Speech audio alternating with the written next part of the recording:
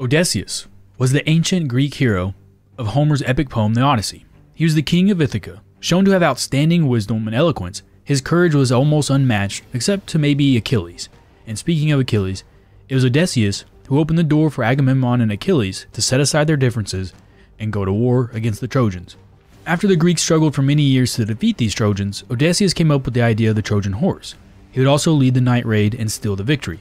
Odysseus' journey did not end at Troy, however. His trip home, or Odyssey, led him to face a Cyclops, which he escaped by clinging to the belly of a ram. He would also face Sirens, a half bird, half woman, and one of mythology's deadliest sea creatures, the Scylla. After almost a nine year journey home, he arrived having to prove to his wife Penelope that he was truly himself. After the trials, he was renamed the King of Ithaca and welcomed home.